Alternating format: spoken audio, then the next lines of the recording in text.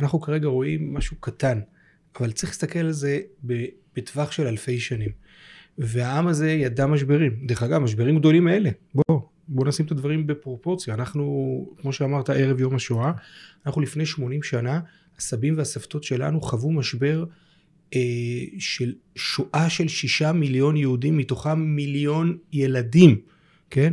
דרך אגב, לא הצלחנו להגיע עדיין למספר של היהודים ערב השואה, כן? זה למרות שכאן בישראל אחוזי הילודה הגבוהים ביותר במדינות המפותחות, ובעולם אנחנו חווים לצערנו, זה קשור גם לאנטישמיות, התבוללות אדירה. התבוללות אדירה בעשרות השנים האחרונות, פחות ופחות יהודים ממשיכים להיות יהודים, כן?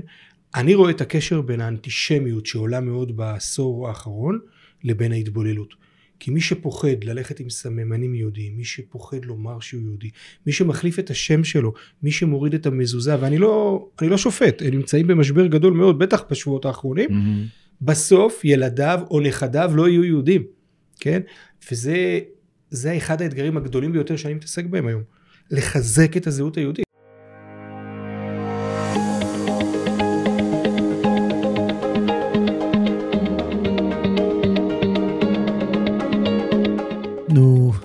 עכשיו, למה אף אחד לא לימד אותנו על החיים?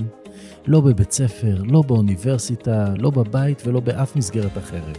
לפעמים אני מרגיש שפשוט לא רצו שנדע. בדיוק בגלל זה. אני, דורון עמיתי ליבשטיין, מביא לכם את הפודקאסט "נו מה עכשיו?" מבית לייף אקדמי. בפודקאסט אני אאמת את המורים והמנהיגים המובילים בעולם עם השאלה של מה עכשיו. אני אביא לכם את הפרקטיקות המדויקות לחיים. חיים של יותר צמיחה, חיים של יותר הגשמה והתפתחות. אז אם גם אתם שואלים, נו, מה עכשיו? הגעתם לפודקאסט הנכון. תקשיבו לשידור ותגלו בעצמכם.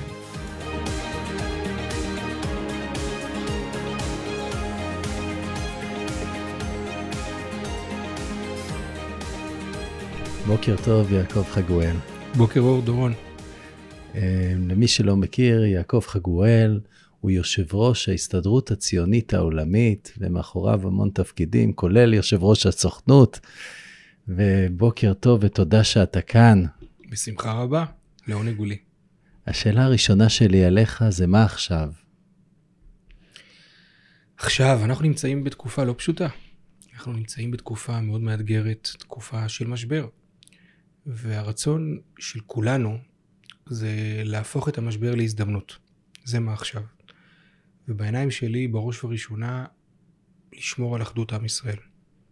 הסיפור של האחדות הוא סיפור שמלווה אותנו היסטורית הרבה מאוד שנים, בהרבה מאוד משברים, והחוסר האחדות הביא אותנו להרבה מאוד משברים, והאחדות הצליחה להוציא אותנו ממשברים, וזה דבר שכל ילד יכול לומר. ולי אין ספק, כמי שמתעסק עם כל העולם היהודי, גם בארץ וגם בתפוצות, אני רואה שהעם רוצה אחדות. העם מתאחד, ראינו את זה אחרי השבעה באוקטובר, לא היינו צריכים לעשות כלום. העם יצר את הערבות ההדדית, יצר את האחדות בין האנשים, והיה מקוון מטרה לעזור, גם בארץ וגם בתפוצות. והסיפור של האחדות הוא לא סיסמה, הוא עבודה קשה. זה לא משהו שהוא בא לנו בקל.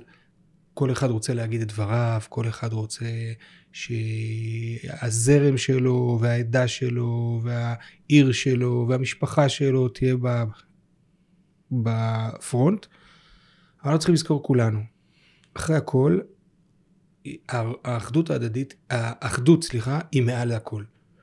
וזה משהו שאנחנו כולם צריכים להבין. מותר להתווכח, מותר לא להסכים, אבל צריך לזכור שמעל הכל יש עם אחד, ואם לא נזכור את זה, אנחנו נגיע למקומות לא טובים.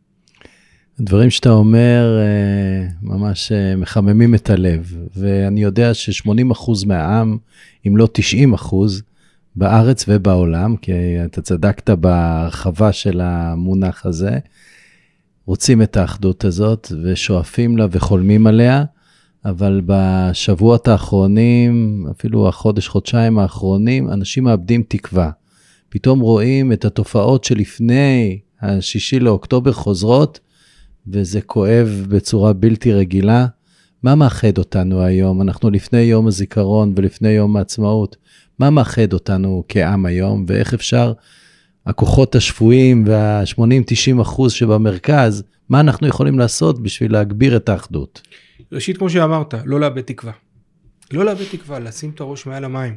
כן, כולנו בשבוע, שבועיים הראשונים שאחרי השבעה באוקטובר היינו מבולבלים, מבועטים, מושפלים, כן?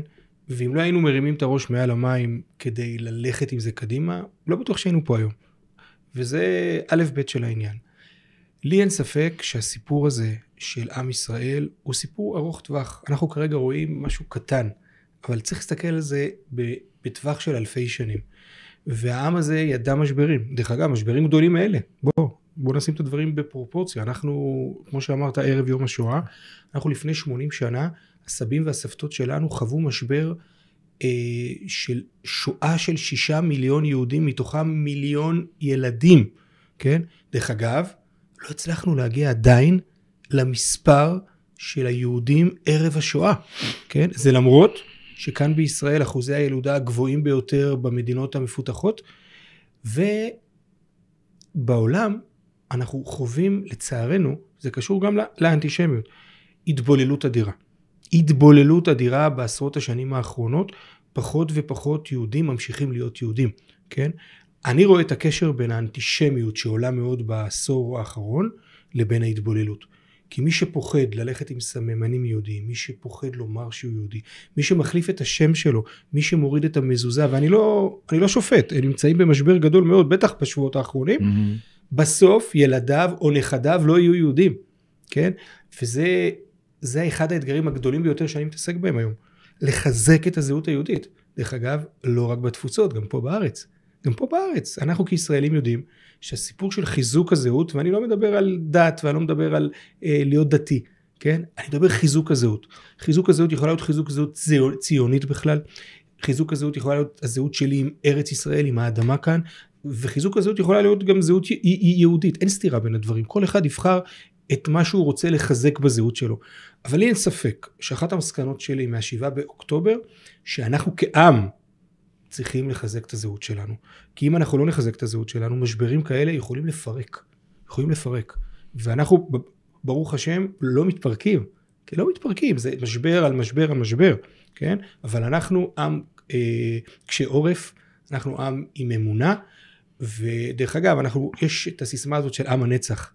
עם הנצח זה לא מובן מאליו. עם הנצח צריך לעבוד על זה, כמו שאתה עובד על זוגיות, כמו שאתה עובד על מנטוריות, כמו שאתה עובד על דיאטה, כמו שאתה עובד על, על אה, פרנסה, גם על עם צריך לעבוד. צריך לעבוד על הנצח של העם הזה שלנו, ואחדות זה אחד הדברים החשובים בו. אתה יושב ראש של אה, ארגון מאוד ותיק, שהוא אחד מארבעת הארגונים אה, היהודיים שמחזיקים את המדינה הזאת כבר הרבה שנים. אולי כמה מילים על הארגון הזה, הסתדרות ציונית עולמית.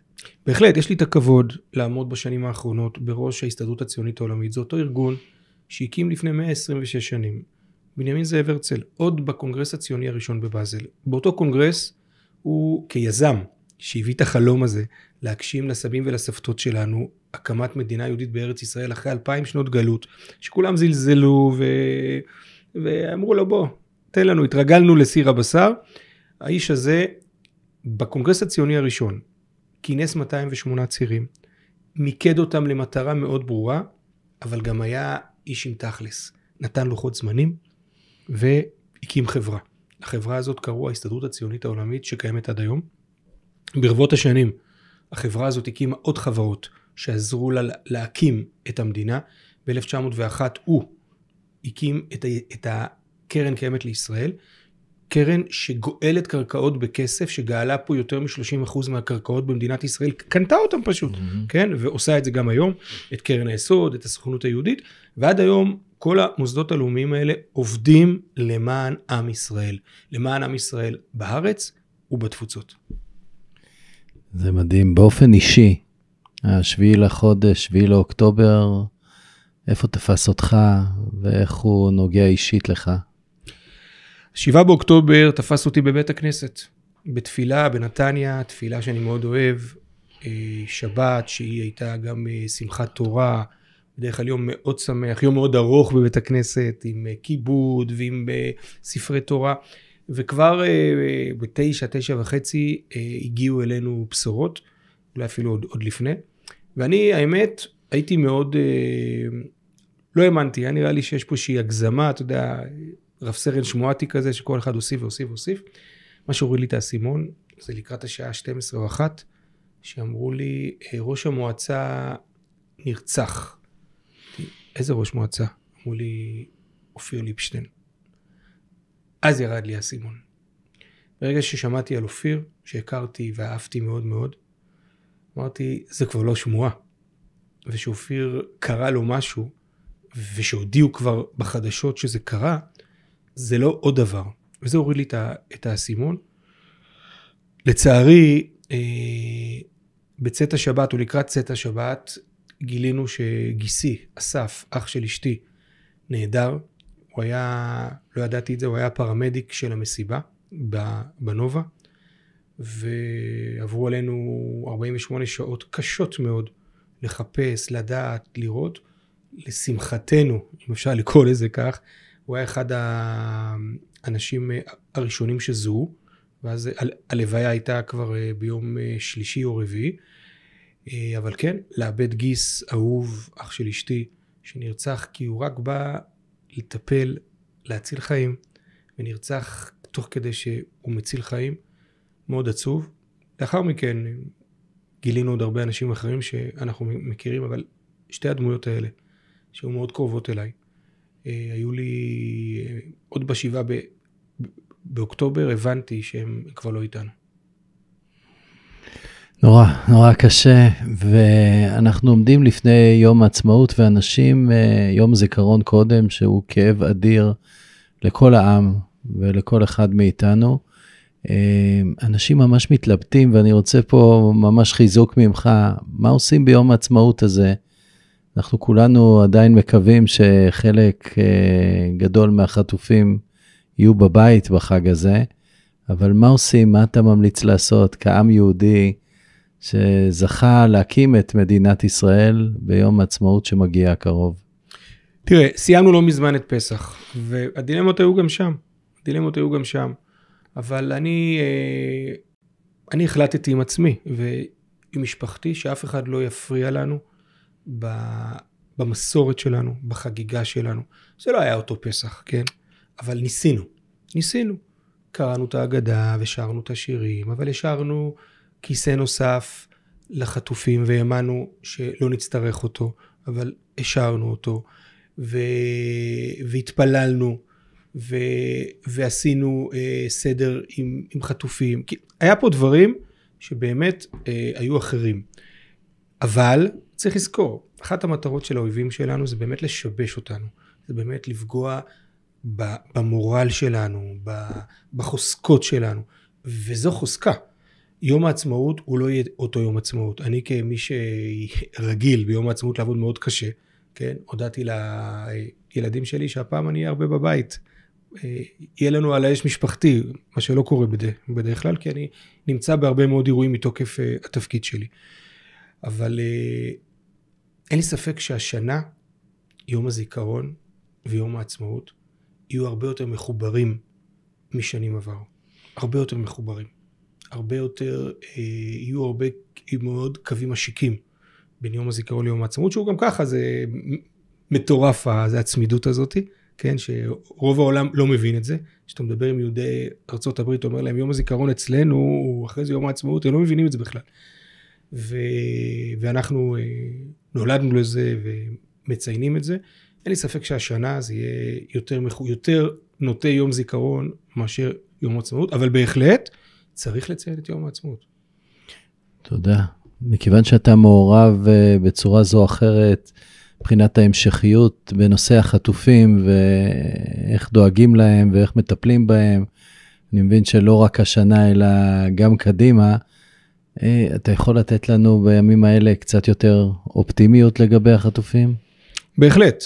אנחנו, אנחנו כולנו מתפללים להחזרת החטופים. ו, וזו משימה הכי חשובה שיש היום. אני חושב שרוב העם רואה את זה כך. ואני גם מאמין שהקברניטים שלנו עושים ככל שביכולתם כדי שזה יקרה. אה, ואפילו יותר ממאמין. אנחנו אה, רוצים לטפל גם במשפחות, במשפחות של השבים ובמשפחות של החטופים, ובעזרת השם המשפחות של החטופים שהפכו להיות משפחות של שבים. כי המשבר הזה, שאני עברתי אותו, כמו שסיפרתי לפני כן, 48 שעות, הם עוברים אותו שבעה חודשים כבר. זה, זה משבר קשה מאוד. זה משבר שאף אחד לא יודע איך להתמודד איתו, אין לנו ניסיון בו, כן? בכמויות שכאלה, אין לאף מדינה ניסיון בכמויות שכאלה.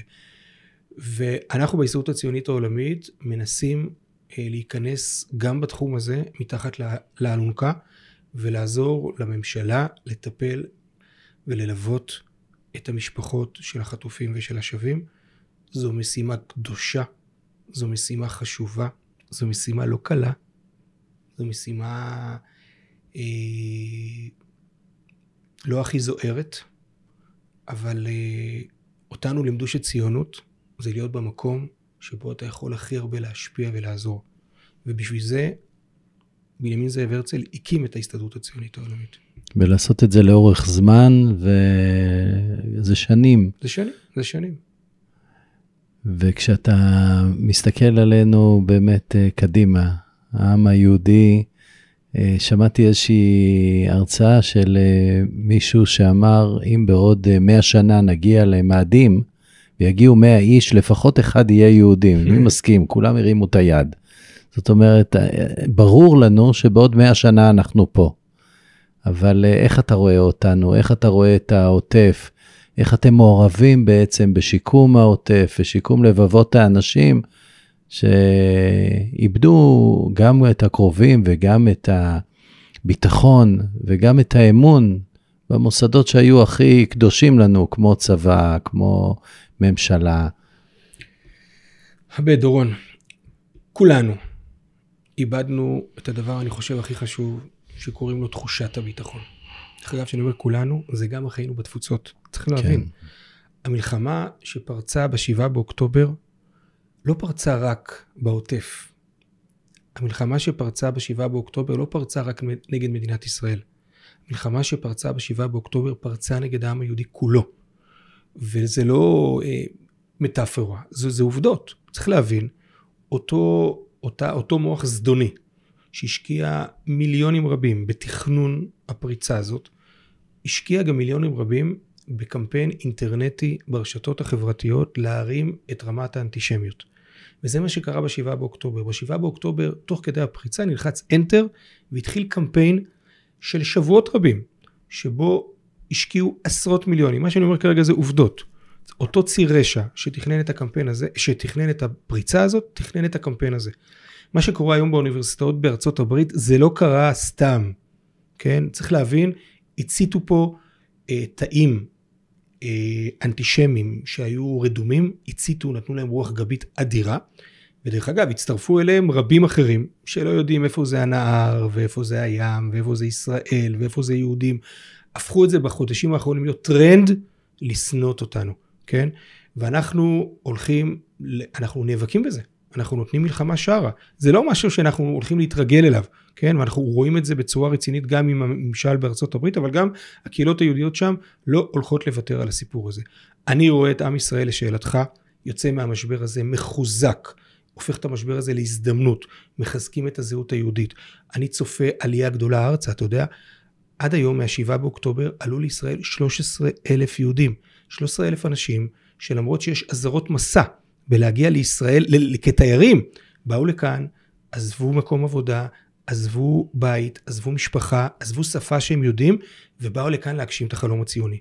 לדעתי, ולא רק לדעתי, אלא מהנתונים שיש בידיי, אנחנו יום אחרי המלחמה הזאת צפויים להגיע לכאן תוך שנה 100 אלף עולים חדשים, שייתנו לנו כאן אה, זרם אדיר של מורל, זרם אדיר של משהו שיבהיר גם לילדים שלי ושלך, שפה זה לא משהו זמני, זה משהו קבוע, זה הבית של כולנו, ואין לי ספק שגם לבעיות הכלכליות שאנחנו הולכים להיכנס כעת בעקבות המלחמה הזאת שעולה לנו הרבה מאוד כסף, זה גם מנוע צמיחה אדיר כלכלי. ואנחנו צריכים כולנו, נכון. לראות איך אנחנו קולטים את העולים האלה ועוזרים להם להיקלט כאן דווקא היום. ואנשים שמקשיבים לנו אה, שואלים את עצמם, ואני ואתה שמענו את זה בכל העולם, את השאלה איך אנחנו יכולים לעזור, הם שאלו אותך, הם שאלו אותי, הם שואלים את עצמם, מה כל אחד ואחד ששומע אותך היום יכול לעשות עכשיו כדי לעזור. יש כאלה שפתחו את הלב, פתחו את הכיס, המון נרתמו, הייתה פה עזרה הדדית שאי אפשר לדד, לתאר, ערבות הדדית, תחושת uh, אהבה וחיזוק, שכבר לא שאלנו מי מאמין במה, מי ימין, מי שמאל, מי דתי, מי לא. ועכשיו אנחנו שואלים את עצמנו את השאלה, מה אנחנו יכולים לעשות עכשיו כדי לשפר את מצבנו לאורך זמן? אני מאוד מסכים איתך, מה שקרה כאן בשבעה חודשים האחרונים זה עם ישראל במיטבו. נתרמו לישראל מעל מיליארד וחצי דולר מיהודי העולם. מיליארד וחצי דולר מאנשים פרטיים נתרמו לכאן כי זה חשוב להם. הגיעו לכאן עשרות אלפים אנשים למשלחות סולידריות, חלקם אנחנו אה, ליווינו אותם, כן? אנשים שבאו לכאן להגיד, אנחנו כאן, אנחנו כאן כי אנחנו, זה חלק מאיתנו. וגם ערבות הדדית בתוך ישראל. ראינו את, ה, את כל הדודות ואת כל, ה, ואת כל ההמבורגרים, ואת כל, זה מחמם את הלב, זה מחמם לגמרי, את הלב. לגמרי. אתה יודע, אפילו אם כבר אין צורך, הבן שלי שהיה 100 אה, ימים בתוך עזה, אמר לי, אבא, כבר נחנקנו מזה, אבל החיבוק היה כיף, החיבוק היה כיף וזה מדהים. ואני אומר... זה עושה טוב לתת גם. נכון, נכון, לשני הצדדים. ואני אומר, דורון, אנחנו צריכים לעבוד כמכונה משומנת כולנו. דבר ראשון, אנחנו רואים שהאנטישמיות כעת מרקיעה שחקים. והאנטישמיות מתחילה, דרך אגב, ברשתות החברתיות. אם כל אחד מאיתנו ידע לתת מלחמה שערה במה שקורה אצלנו, בפיד אצלנו, כן? שאתה רואה היום שמישהו כותב איזה, איזה, איזה טוקבק, או מעלה איזה פוסט שהוא אנטישמי, תן לו בראש. תן לו הערה, תעיר לו, תתלונן עליו. כן, אתם יודעים שאם מתלוננים על אנשים שהם מעלים דברים אה, אנטישמיים, מוחקים להם אותם, מורידים אותם. בואו לא נעצום את העיניים, בואו לא נשים את הראש כבת יענה. בואו נרים את הראש בגאווה יהודית וניתן תגובות לדברים האלה. זה נכון, הם גדולים מאיתנו, הם, הם הרבה יותר אנשים מאיתנו, הם משקיעים בזה הרבה יותר כסף, אז מה? אנחנו תמיד היינו הקטנים, עוד אה, עם דוד וגוליית ועוד דברים אחרים, וידענו לצאת מהדברים האלה, ולי אין ספק שאנחנו נצא מה, מהמשבר הזה מחוזקים יותר, טובים יותר, אוהבים יותר ומאוחדים יותר. וואו, זה מרגש אה, לשמוע את זה. אני רוצה להגיד לך מכל הלב, תודה. תודה שאתה פה, תודה על התפקיד. אני יודע שלא פשוט uh, לעשות את התפקיד הזה, בטח השנה הזאת. יודע ש-18 חודש עשית תפקיד משותף של אה, יו"ר הסוכנות ויו"ר ההסתדרות הציונית העולמית.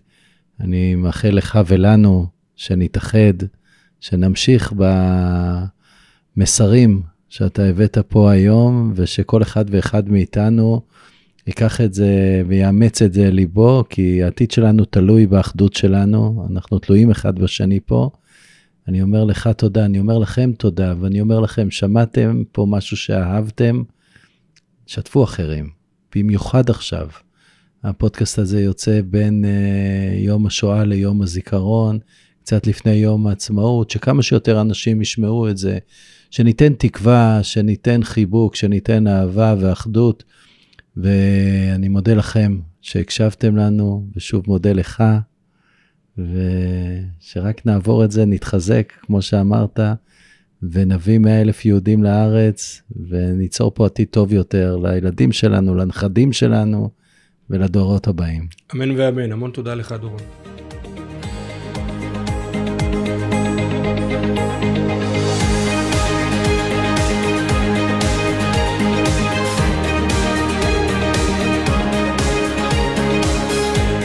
טוב חברים, הגענו לסיומו של עוד פרק בפודקאסט, נו מה עכשיו?